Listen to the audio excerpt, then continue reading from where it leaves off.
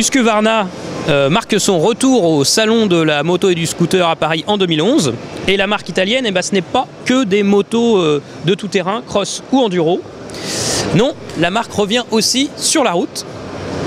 Depuis peu, on a découvert les nouvelles Nuda 900 et 900R, un roadster super motard, très agressif, et déjà en essai sur motostation.com. Et pour 2012, Husqvarna persévère avec le concept Strada. La ligne de la Strada va être très facilement euh, identifiable. hein. Elle, marque vraiment le, le style Husqvarna avec des formes très saillantes et un garde-boue qui ressemble déjà beaucoup à celui qu'on retrouve sur les Nuda.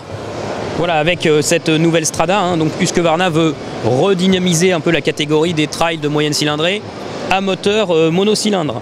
Donc là, la technologie est empruntée encore une fois à BMW. hein. Il s'agit du mono euh, 650 euh, BMW Rotax qu'on retrouve sur la G650 GS. Mais Husqvarna promet un gros travail sur ce moteur pour le rendre euh, plus dynamique, plus punchy, améliorer la puissance à haut régime et l'agrément.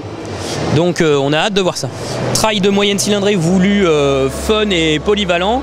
Euh, la Strada adopte des roues de 17 pouces à l'arrière et de 19 pouces à l'avant. Donc euh, fait l'impasse sur la roue de 21 euh, caractéristique des, motos euh, d'enduro.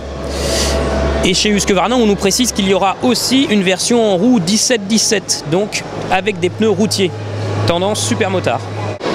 Toutefois, pour que la nouvelle Strada devienne une réalité en 2012 et qu'elle se montre concurrentielle et intéressante sur ce créneau, il faudra que Husqvarna la propose à un tarif inférieur à 7000 euros.